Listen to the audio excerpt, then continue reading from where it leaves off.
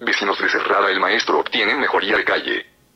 Nacajuca, Tabasco a 26 de abril de 2013. El alcalde Pedro Landero López inauguró los trabajos de grabado de una arteria del centro de la cabecera municipal, donde la ciudadanía reconoció su esfuerzo. El presidente municipal Pedro Landero López asistió este día a la calle Cerrada El Maestro, donde un grupo de ciudadanos le solicitaron el grabado de dicha vía, lo cual fue resuelto por la Dirección de Obras Públicas a cargo del arquitecto Miguel Ángel Domínguez Bautista. Secretario del ayuntamiento, Jorge Rojas Campos, el contralor Hilario Lázaro Pérez, así como vecinos del lugar liderados por la regidora Rocío López Dionisio, el edina cajuquense dijo que estas acciones lo motivan a salir adelante en la administración. Veo a una sociedad organizada, con el entusiasmo por avanzar en su comunidad y eso me da gusto. Espero que sigan así, y recuerden que unidos crecemos, expuso el municipio.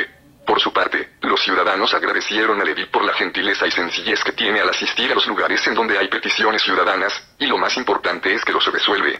Asimismo, la regidora Rocío López Dionisio agradeció la rápida actuación del arquitecto Miguel Ángel Domínguez García, quien por instrucciones del alcalde Pedro Landero López, comenzó los trabajos para que las familias del lugar no sufran con los encharcamientos y el camino de tierra que tenían.